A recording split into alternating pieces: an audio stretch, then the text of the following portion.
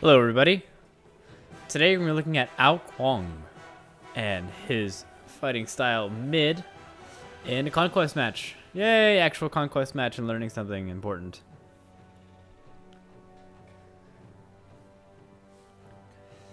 Now, I'm not sure about my team composition. They're not sure what kind of mode they joined. Awesome, awesome. I'm loving the confidence. But so far, and finally, we have no tank. They've practically got two. Jesus. Okay. So, we are all damage, no defense.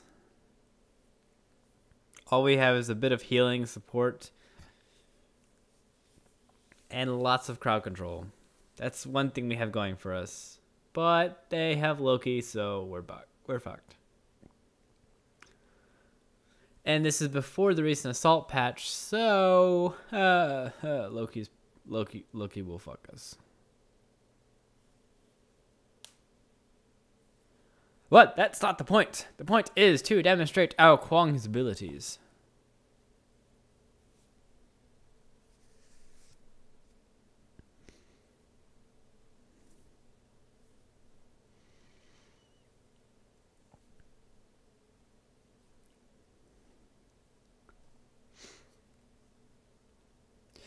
I don't know what the lanes are going to be, though. Looks like it should be...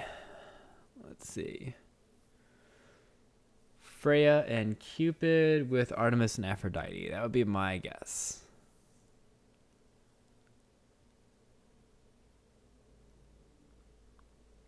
Freya will have slows to set up kills for Cupid to add damage to each other. That's fine. Aphrodite can speed up Artemis, who can use a stun with her ultimate and with Aphrodite's invincibility, could get off a lot of damage without getting hurt. So, the, that should be the lanes, and that should work pretty well if they are careful enough. The problem is if they fight tanks, they can be picked off very easily by people who can tank them very easily in the beginning when they have no power. So, Ao Kuang's abilities. I get a cannon shot, just straight ahead skill shot. I have a movement speed buff, uh, temporarily, and then I have a tornado, which does damage over a lot of damage over time, and then an ultimate, which is a gigantic dragon that comes down and does a ton of damage in a straight line. All right, looks like it's gonna be Cupid and or wait, no. Freya, Freya, what are you doing?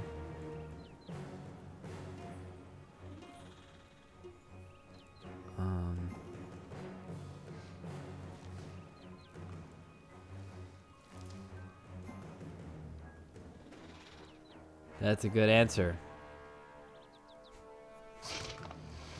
You obviously went to college.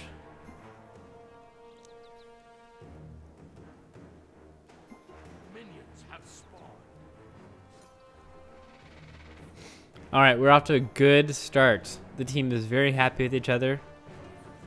The communication is perfect. Cupid, why are you standing there? Cupid, why are you standing there? Cupid, why are you standing there? Cupid, why are you standing there? You you move around, Cupid. You you move around to not take as much damage. No. No, you're an idiot. You're an AD carry trying to tank. Oh boy. Ah. Holy shit, he's right level 2. Fuck him. Two could play at that game. In one second. Just give me one second. There we go. Two could play at that game. Haha, take that. Oh shit.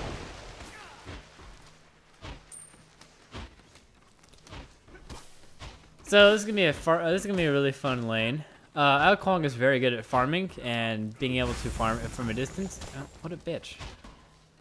Not very good at not telegraphing his moves, though. So, Ao Kuang is very good at farming and at a distance, so he can farm safely under his tower.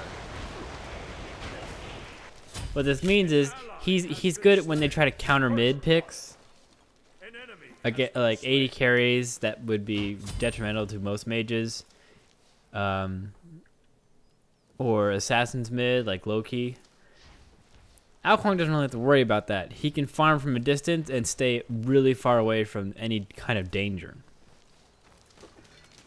Uh, but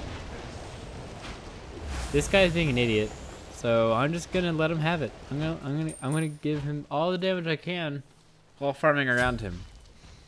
I'm let the minions do the talking in the beginning. Oh, what the fuck? All right, game.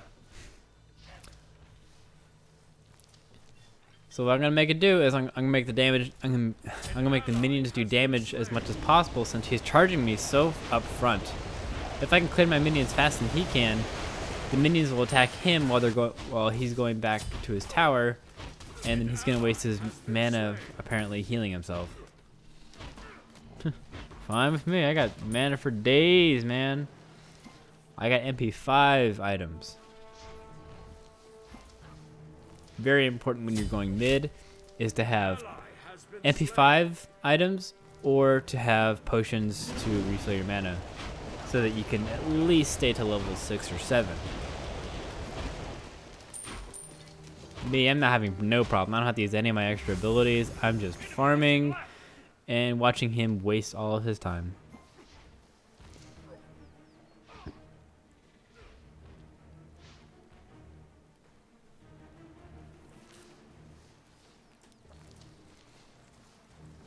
Already have given up first blood, so we'll see how this goes.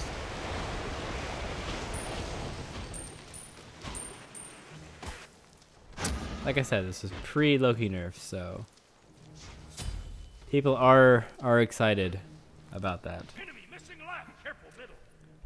Okay, now that he's below half health, decently, I am ready to use my ultimate. See if I can kill him.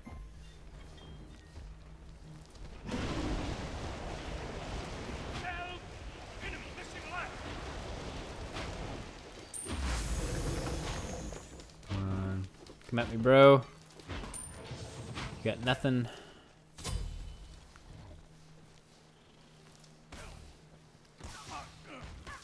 Nothing? Okay, he's just standing in his tower. Balls. Come on, charge me. You've got enough mana to charge me. You've got your ultimate. Don't be scared. Don't be scared. I got nothing. I got I don't have anything. See? See, you can hit me. Charge me. Charge me!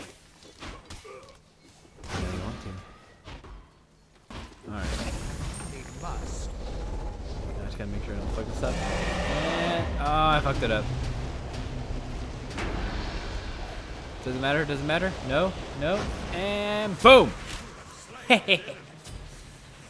Ah, oh, man, I got mana for days. I got way too much mana. I get crazy. Didn't even see it coming.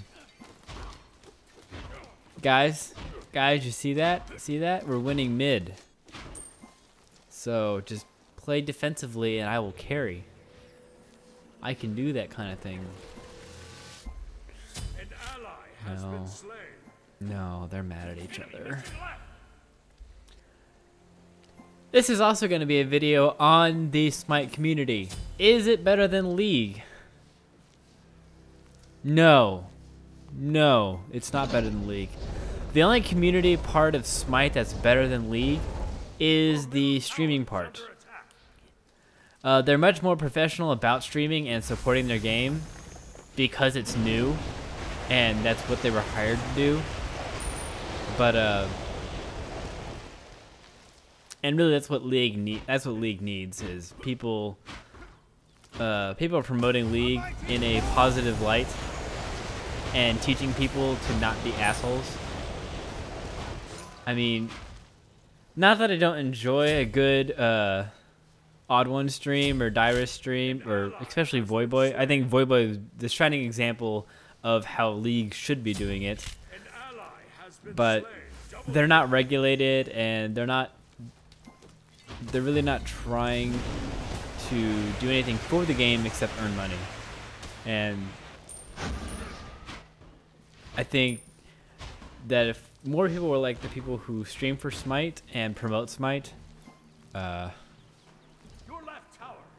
there would be less. Uh, there would be less general opinions of League that would be uh, just downright trashiness.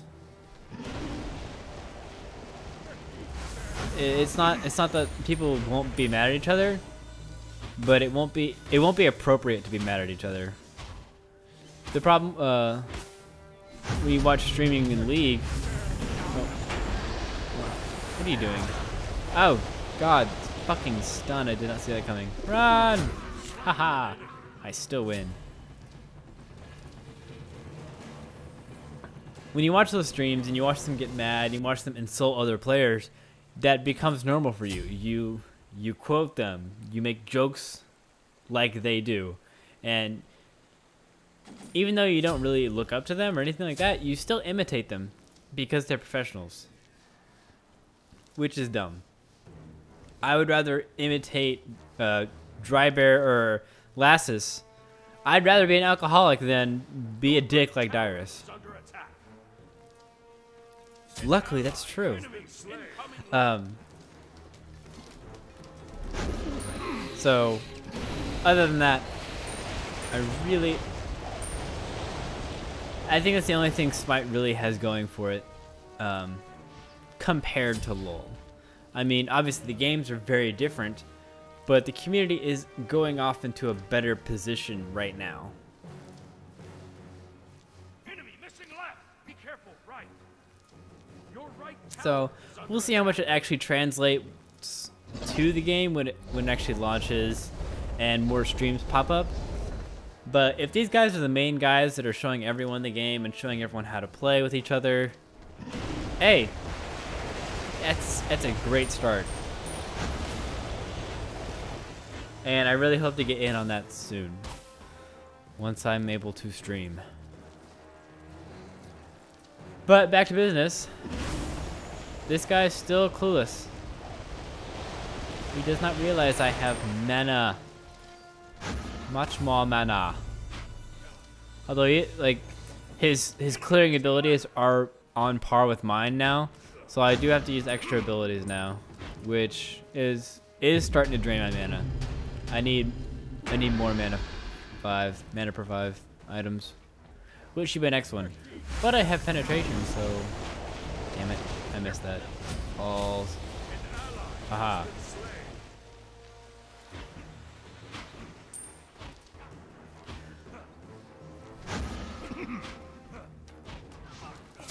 The problem with duo farming lanes is that they're in lane for so long, it's very difficult for you to have time to grab jungle buffs. You can't push your lane forward and then like have time to get your jungle buffs while they're finishing farming their side of the lane. Yeah, I just want to go back. Ah, team confidence. So good.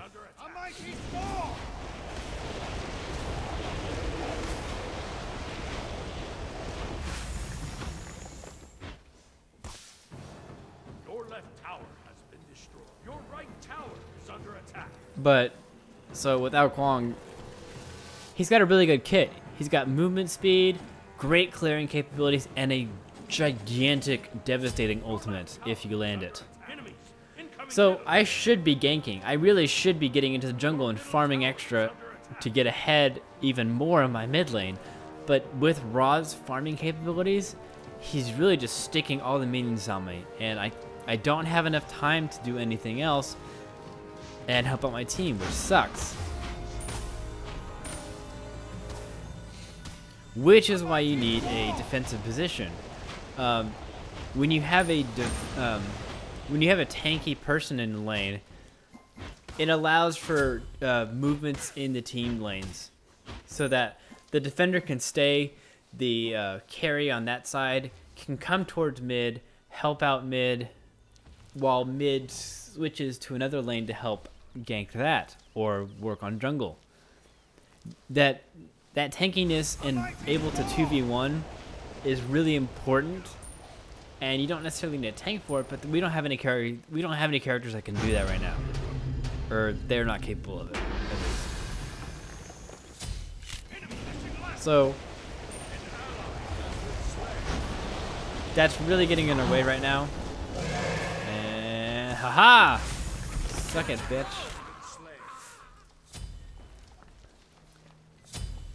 And so our lack of mobility is really getting in the way of our chance to come back from this.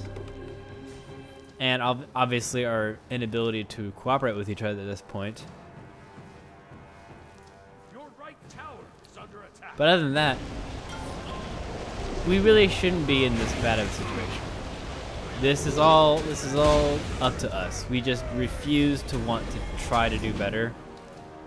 And because of that, it's just not going to go in our favor.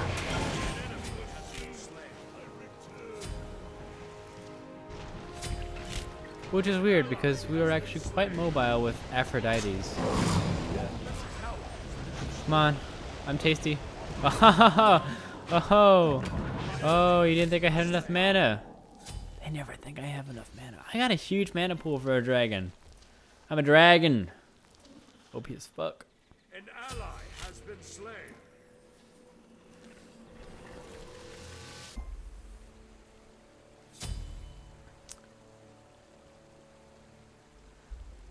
But this still gives you a good impression about Kuang because it shows you how to farm with him.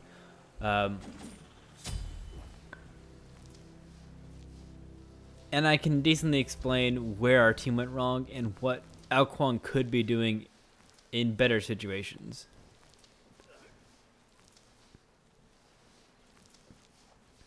But man, our team is just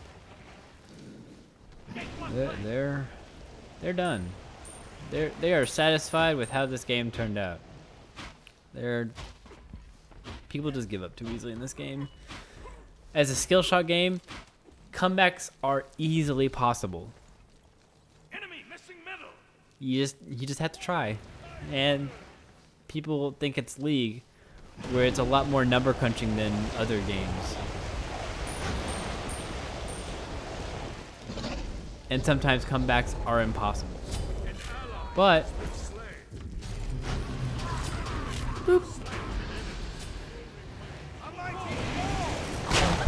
oh, fuck, fuck, fuck. Run. Come on. Run phase. Run phase. Oh, the Halo key. Oh, I can't wait to see nerfed. Nerfed into the ground. We just we just don't want to win. And that's a huge part of the game. Wanting to win will help you win a lot.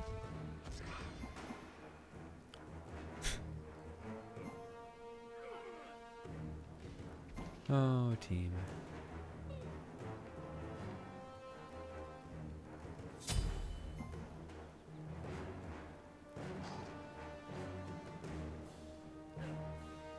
Your left tower is under attack.